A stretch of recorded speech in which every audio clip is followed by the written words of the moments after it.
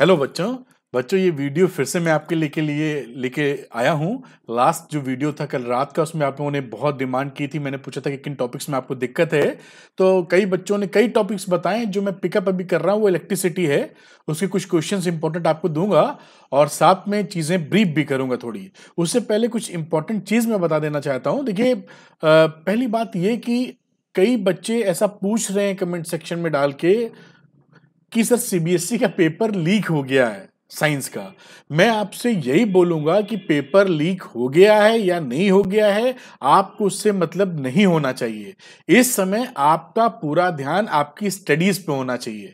वही आपको flying colours में लेके आएगा, वही आपको विनर बनाएगा। तो इन, ये जो इंफॉर्मेशन हैं रूमर्स हैं बेसिकली इन सबको दिमाग से आप निकाल दें। है ना? स्टडी पे फोकस करें, पक्की तौर पे इसमें उलझेंगे तो आपका समय बर्बाद होगा। तो फोकस करिए स्टडीज़ पे, भूल जाइए इन बातों को। दूसरी बात मैं ये करूँगा और उसके लिए पहले ही थोड़ी माफ़ी चाहूँगा कि कई बच्चे मुझे फ़ोन करते हैं, कई बच्चे व्हाट्सएप कर रहे हैं, मैं उनका रिप्लाई नहीं दे पा रहा हूँ। उसका रीजन आप समझ सकते हैं कि सुबह से शाम तक मैं आप ही लोग के लिए लगा रहता हूँ। केवल यूट्यूब पे वीडियो नहीं, बाकी मेरी ऑफलाइन कोचिंग भी है, जहाँ पूरा मुझे समय और ज़िम्मेदारी रिस्पॉन्सिबिलिटी मुझे निभानी पड़ती है। साथ में यूट्यूब पे भी मैं एग्रेसिव तरीके से वीडियो बनाता हूँ, आप देखते ही होंगे और आपके कमेंट्स वगैरह भी मैं पढ़ता रहता हूँ। तो आप मुझे कमेंट्स में लिखिए वहाँ पर, और जो मुझसे बन पड़ेगा मैं बेस्ट आपको दूँगा। आप इस बात का बिल्कुल बुरा मत मानिएगा कि फ़ोन पिकअप क्यों नहीं हो रहा है, क्योंकि आप समझ सकते हैं कि अभी आप लोग के प्यार से फैमिली साढ़े चार लाख से भी ऊपर की बड़ी फैमिली है, जल्दी शायद पाँच लाख हो जाएँगे हम लोग। और दिन में पाँच पाँच, छह छह सौ कॉल आने लगती है एग्ज़ाम टाइम में। किसी भी एक बंदे के लिए बस का नहीं है कि वो पाँच, छह सौ कॉल हैंडल करे। पागल हो जाएगा। आप सोचिए खुद ही सोचिए आपको दिन में कोई बोल दे कि सौ कॉल आप करिए तो सौ कॉल लगाने में आपको कितने परेशान हो जाएँगे। तो आप समझ सकते हैं मेरी बात। एनी anyway, वापस आते हैं पढ़ाई पे। ज़्यादा समय आपका नहीं लगना चाहिए। तो मैं आपको इलेक्ट्रिसिटी की आज बात करूँगा इंपॉर्टेंट क्वेश्चन भी दूँगा। और साथ में मैं ये भी बताऊँगा जैसे मैंने और वीडियोज़ में बताया कि मोस्ट एक्सपेक्टेड क्वेश्चन का link with solutions with revision notes description के लिंक में है, वहाँ से आप ले सकते हैं। क्योंकि तेरह तारीख को आपका पेपर है, आज हो रही है ग्यारह तारीख।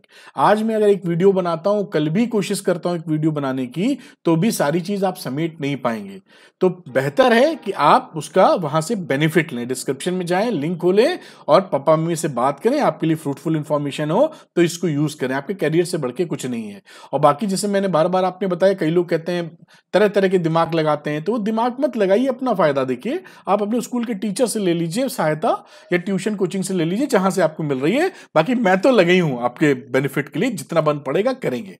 ठीक है? चलिए वापस हम लोग जल्दी से आते हैं डेस्कटॉप लैपटॉप की स्क्रीन पर और मैं थोड़ा सा आपको बताने की कोशिश करता हूँ। क्या क्वेश्चन इंपॉर्टेंट है? थोड़ा ब्रीफिंग भी करता जाऊँगा साथ साथ तो चलिए ये बात, जैसे मैं आपसे बता रहा कि चैप्टर वन इलेक्ट्रिसिटी और इलेक्ट्रिसिटी चैप्टर पहला चैप्टर है variable resistor state in brief the meaning of variable resistor ये वेरेबल रजिस्टर्स क्या होते हैं? इसका मीनिंग तो जिन रजिस्टर्स का हम लोग रजिस्टर चेंज कर सकते हैं। चेंज करने में एक डिवाइस होती है बेसिकली और इलेवन ट्वेल्थ में पढ़ेंगे, उसका इस्तेमाल भी करेंगे लैब में आप। तो उसको कैसे करते हैं, उसका सर्किट डायग्राम भी थोड़ा सा पढ़ लीजिएगा। नीचे जो डिस्क लिंक है, वहाँ पे आपको उसके सोल्यूशन मिलेंगे। वहाँ पे सर्किट डायग्राम बना मिलेगा आपको। तो ये तैयार कर लीजिए। दूसरा क्वेश्चन पूछा है charge of one fifty coulomb flows through a wire in one minute एक मिनट के अंदर one fifty coulomb charge flow करता है तो इलेक्ट्रिक करंट निकालिए। तो आप जानते हैं इलेक्ट्रिक करंट का फॉर्मूला क्या होता है? I is equal to Q by T. ये आपको पता होगा, याद करके देखिए, कल किसी बच्चे ने पूछा था, टी क्या होता है? तो इसका ऐसे लगता है जैसे साल बार आपने पढ़ा नहीं तो टी होता है टाइम। सेकेंड्स में रखते हैं ऐसा ही सिस्टम के लिए तो 150 फिफ्टी कोलाम, क्यू की क्यू की वैल्यू 150 और टी हो गया, एक मिनट एक मिनट में जितने सेकंड होते हैं। तो आप 150 को सिक्सटी सेकेंड से आप डिवाइड कर दीजिएगा, जो वैल्यू आएगी वो उसका आंसर हो जाएगा। और आई की यूनिट एसआई सिस्टम में एम्पियर होती है, इसका सिंबल ए होता है तो उसको लिखना मत भूलिएगा, नहीं नंबर कट जाते हैं इसके। अच्छा दूसरी चीज़ और हाँ ये क्वेश्चन देखिए, बहुत फ़ेमस है, बहुत छोटा है, बहुत इंपॉर्टेंट है। Calculate the number of electrons constituting one coulomb of charge एक कुलाम चार्ज में कितने इलेक्ट्रॉन्स होते हैं? आपको एक फॉर्मूला और मालूम होगा, ये तो फॉर्मूला आपने देखा ही देखा बेटा। और दूसरा एक फॉर्मूला आपको और मालूम होगा, जिसे लिखते हैं Q is equal to N E है ना? ये ई इलेक्ट्रॉन पे एक इलेक्ट्रॉन का चार्ज ये नंबर ऑफ़ इलेक्ट्रॉन्स जितने होंगे और वो कंस्टिट्यूट करते हैं क्यू यानी टोटल चार्ज को। और क्यू होती है गुलाम की यूनिट इस फॉर्मूले से आप निकाल सकते हैं कि एक गुलाम यानी क्यू की जगह वन पुट कर दीजिए एन आपको पता नहीं है इलेक्ट्रॉन का चार्ज होता है one point six into ten की पावर माइनस नाइनटीन गुलाम अब ये वैल्यू आप डाल दीजिए तो एन यहाँ से कैलकुलेट कर लीजिए आप। ये बड़ा फ़ेमस क्वेश्चन है घूम घूम के आता रहता है, ध्यान रखिएगा। और ये जो फॉर्मूला है ना, ये एक चीज़ और हमको बताता है, जो क्वेश्चन आपसे पूछा जाता है। ये देखिए, इधर लिख देता हूँ यानी क्वांटाइजेशन ऑफ़ चार्ज ये बोला जाता है क्वांटाइजेशन ऑफ़ चार्ज। क्या मतलब बेटा इसका होता है? इसका ये मतलब होता है कि जो चार्ज होते हैं ना, वो इलेक्ट्रॉन के इंटीग्रल मल्टीपल में जाते हैं। इंटीग्रल भी नहीं बोलना चाहिए, पॉजिटिव इंटीजर्स बोल देना चाहिए हमको।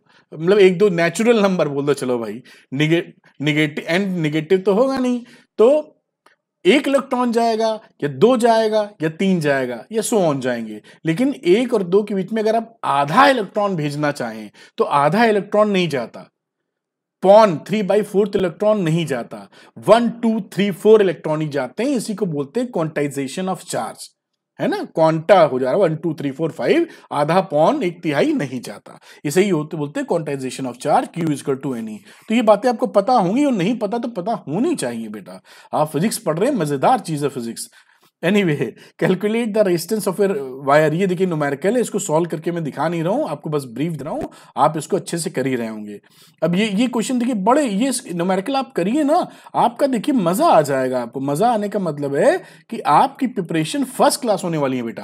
क्योंकि यही न्यूमेरिकल ये न्यूमेरिकल कर लेंगे तो जो बोर्ड में न्यूमेरिकल आएगा, वो मुस्कुरा के आप कर लेंगे। बस इसको थोड़ा समझ लीजिए। Calculate the electrical energy consume by twelve hundred watt toasted in thirty minutes अब देखिए एनर्जी कंज्यूम पूछा है पावर नहीं पूछा है तो एनर्जी कंज्यूम का फॉर्मूला आपको पता है क्या? बिल्कुल पता है हम लोगों को। इलेक्ट्रिक एनर्जी वर्क डन लिख दीजिए या इलेक्ट्रिकल एनर्जी लिख दीजिए। और ये वैल्यू क्या होती है? V I T V I T अब जो, और ओम्स लॉ में पता है V is to I R Ohm's law बताता है। तो जहाँ जो वैल्यूज़ दी होंगी, उससे हम चेंज कर लेंगे यहाँ पर। तो देखिए, यहाँ वॉट दिया ना, पहचानिए इसको बेटा जरा सा। ये किसकी यूनिट होती है वॉट मालूम है ना? बिल्कुल मालूम है आपको। वॉट यूनिट होती है पावर की। है ना बेटा? तो अगर इसकी बात करें तो एक फॉर्मूला पावर का बनता है? P equal to W by T या ई बाई टी लिख दीजिए। इलेक्ट्रिकल एनर्जी की बात हो रही है। तो इलेक्ट्रिकल एनर्जी बेटा क्या हो गई? पावर इन टू टाइम मैं उसे डिस्कस करने लगा फॉर्मूला ये आगे मैं डिस्कस नहीं करूँगा ब्रीफिंग ही दूँगा। तो 1200 वॉट ये देखिए वॉट में लिखा ही हुआ कौन सी दिक्कत? 30 मिनट अब देखिए 30 मिनट रखते ही गलत सवाल। क्योंकि ऐसा ही सिस्टम में सेकंड्स में रखते हैं। तो 30 और एक मिनट में सिक्सटी सेकेंड खेल खत्म हो गया। जो भी आएगा गुड़ा भाग कर लीजिएगा। ये जूल में आंसर आ जाएगा। क्या है? ऐसे ही बोर्ड में आते सवाल। एकदम मज़ेदार, आसान, आप कर लेंगे। बस थोड़ा समझ में आनी चाहिए बात आपको ना। और अगर आपने नहीं समझी तो तो परेशानी होगी आपको। आगे देखते हैं हम लोग। इसको थोड़ा, ये इसी तरह, ये भी नुमेरिकल है, ये भी कर लीजिएगा। मैं सॉल्व करके नहीं दिखा रहा हूँ। अब थोड़ा इसको आगे स्क्रॉल करता हूँ। अगले क्वेश्चन की तरफ़ हम लोग बढ़ते हैं।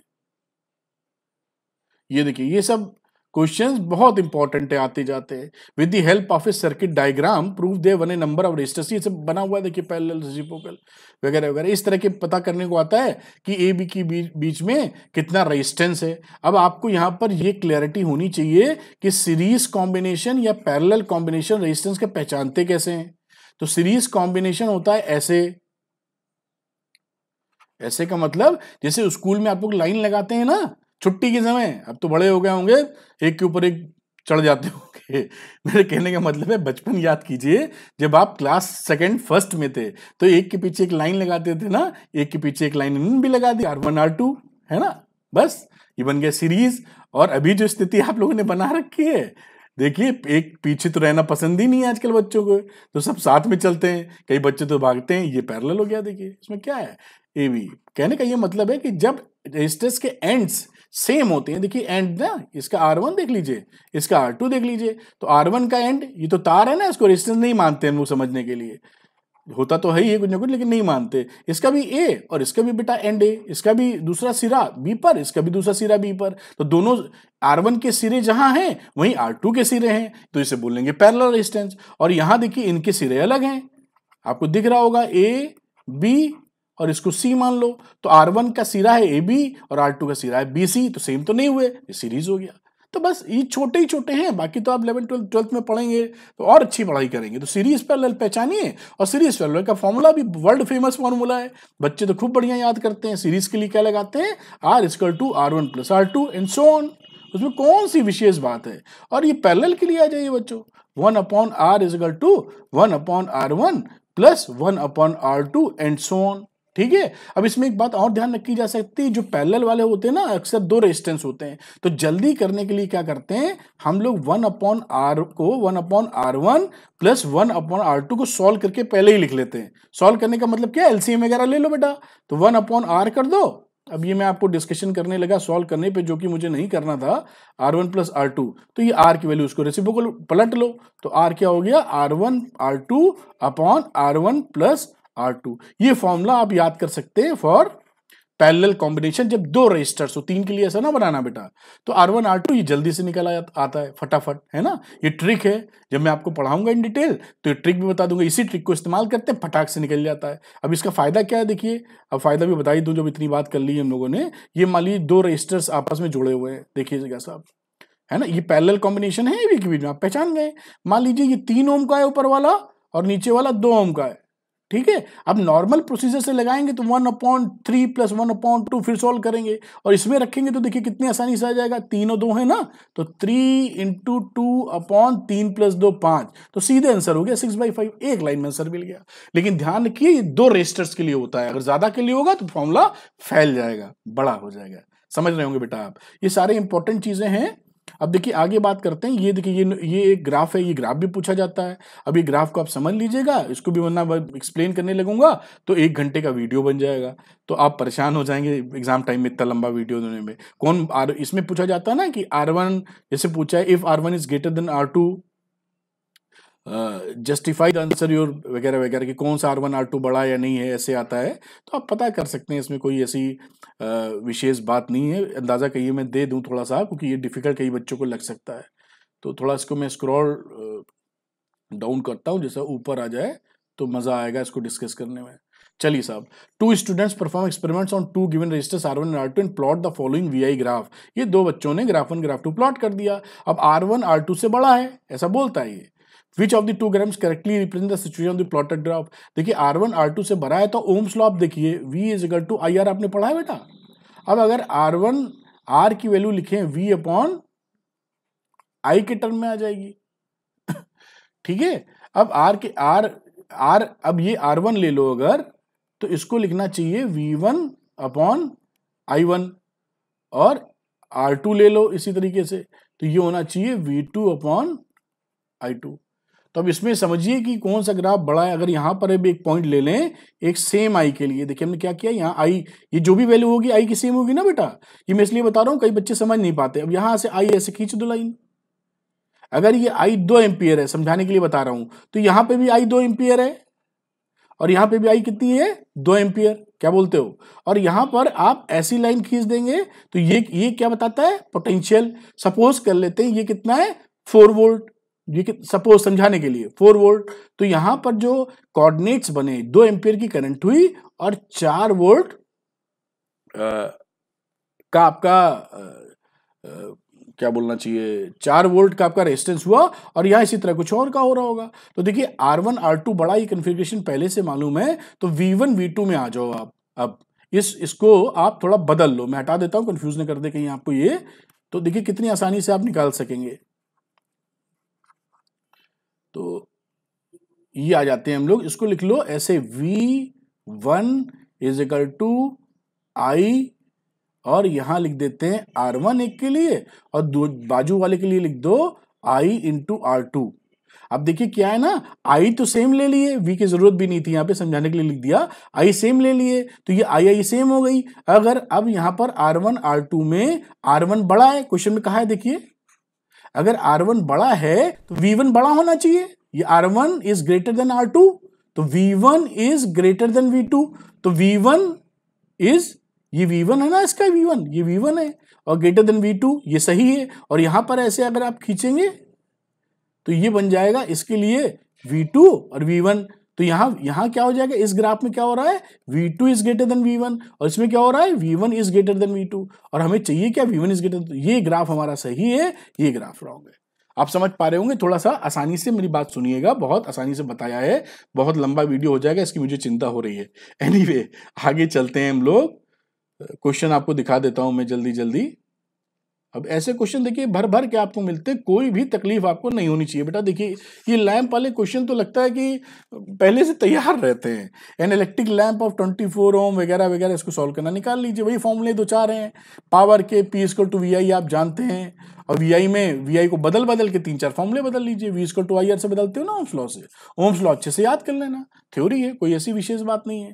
कभी कभी पूछे कि होम्स लॉ कब फॉलो नहीं होता तो आपके लिए आपके स्टैंडर्ड पे टेंथ आप बता सकते हैं जब टेम्परेचर बहुत बढ़ जाता है तो होम्स लॉ फॉलो नहीं होता, क्योंकि टेम्परेचर कांस्टेंट होना चाहिए होम लॉ में, तभी तो इसका टू आई का ग्राफ बराबर आता है है ना? तो चलिए आगे देखते हैं।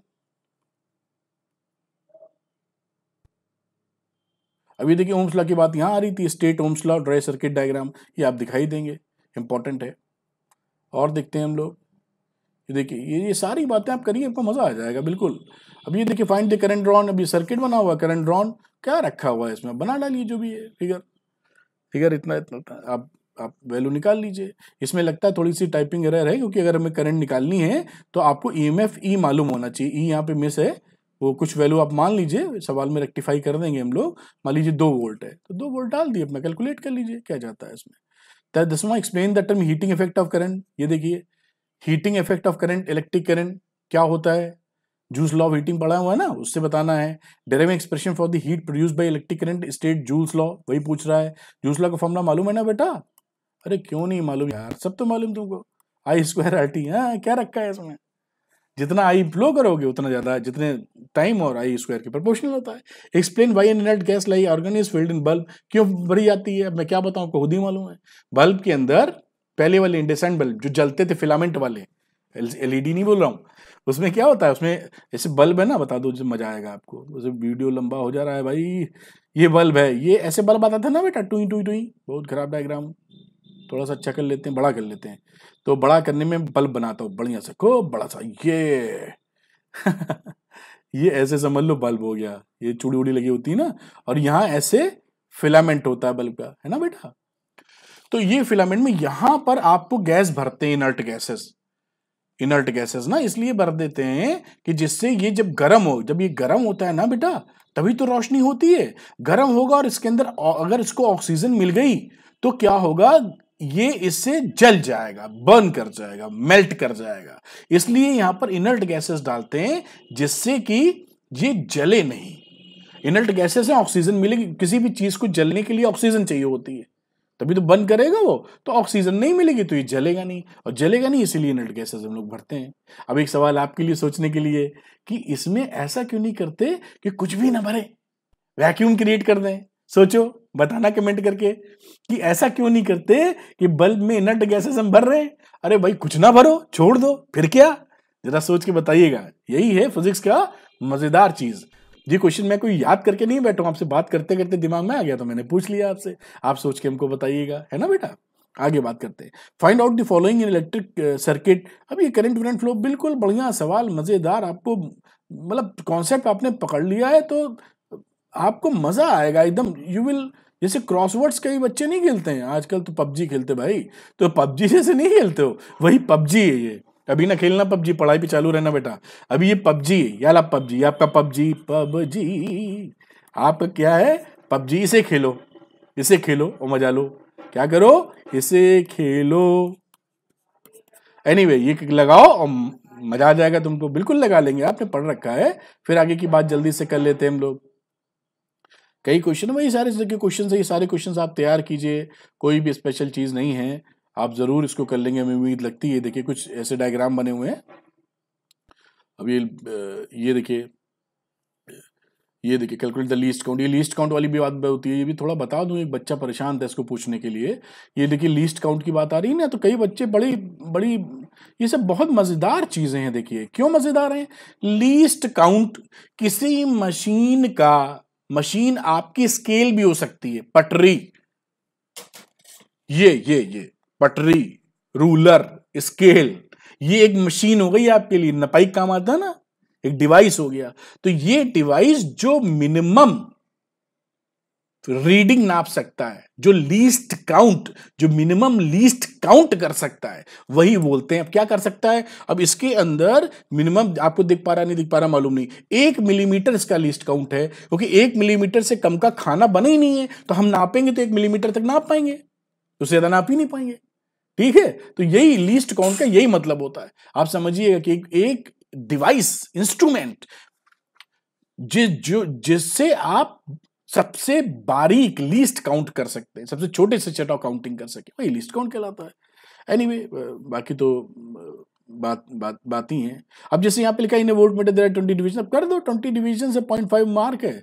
अब ना बीस खाने बने होंगे तो उससे छोटे छोटे निकाल सकते हो। पॉइंट फाइव ट्वेंटी कर दिया क्या जाता है? कुछ भी स्पेशल नहीं है थोड़ा ध्यान देंगे मज़ा आ जाएगा आपको। कसम से फिजिक्स से तो आप आप कभी छोड़ेंगे नहीं फिजिक्स मैथ्स भी बड़ी इंटरेस्टिंग है। इंटरेस्टिंग तो साइंस के सारे सब्जेक्ट हैं वैसे। अब प्यार से समझेंगे तो मज़ा आता है। एनीवे anyway, तो आगे समझते हैं हम लोग। आइडेंटिफाई द सीरीज़ कॉम्बिनेशन अब देखिए पहचानिए थोड़ी प्रैक्टिस के लिए आपका बना दिया है। किसमें सीरीज़ है किसमें पैरेलल क्योंकि अगर आपको ये समझ में आएगा तो न्यूमेरिकल लगा पाएँगे। वरना तो हरी हरी बोल। पंडित बद्री प्रसाद हरी हरी बोल। टिग्नामेट्री में याद किया था ना P P B P H H B Pandit Badri Prasad Hari Hari बोल which of these represent relation between V and I V और आई का रिप्रेजेंटेशन पूछा है। अब देखिए ओम्स लॉ जो बनाते हैं, आपको इतना बिल्कुल नॉलेज है ही साहब कि ओम्स लॉ क्या बोलता है? ओम्स लॉ बोलता है V equal to I R या कह दीजिए, v upon I is equal to R तो कहता है, v और i को आप बदलेंगे तो वी और आई तो बदलेगा, लेकिन इनका रेशियो नहीं बदलेगा। है ना? स्पेशल केसेस में बदलता भी है जब गर्म हो जाएगा एलिमेंट तो ये क्या बोलते हैं उस चीज़ को बचाने के लिए? फ़िज़िकल कंडीशंस जब सेम होती हैं कांस्टेंट होती हैं सेम नहीं बोले कांस्टेंट होती हैं। फ़िज़िकल कंडीशन मतलब टेम्परेचर प्रेशर तो वी बढ़ाने पर आई भी बढ़ेगा, लेकिन रेशियो नहीं बढ़ेगा। क्या मतलब है? मैं एक बार और एग्जांपल ले लेता हूँ, दो मिनट जहाँ इतना टाइम आपने दिया है हमको, हम लोगों ने एक दूसरे को तो ये देखिए, कहने का ये मतलब है बेटा कि ये सब बनाते भी हैं आप, जैसे वी रखा ना आपने, ये हुआ दो वोल्ट, एक वोल्ट, अब देखिए इसको दो को चार कर दिया तो इसको हमने दो कर दिया। अब देखो देखो यहाँ पर निकालो तो वी अपॉन आई निकाला ना बेटा तो वी अपॉन आई क्या हो गया पहले वाले केस में? वी है टू आई है एक तो आंसर आ गया दो। इधर आ जाओ तो चार वी ये दो, फिर से दो आ गया। यानी इसका रेजिस्टेंस कितना है? इसका रेजिस्टेंस यहाँ से निकाल सकते हो आर की वैल्यू कितनी है? टू ओम तो दोनों ही रीडिंग्स में वी बदल गए ये वी वन है। इसको हटाओ। ये वी वन है और ये वी टू है। ये आई वन है, ये आई टू है। ये आई वन है आई टू है। कॉलम गड़बड़ बनाया मैंने। आप समझ पा रहे होंगे। ठीक है ना बस? तो ऐसे ग्राफ कैसे आएगा?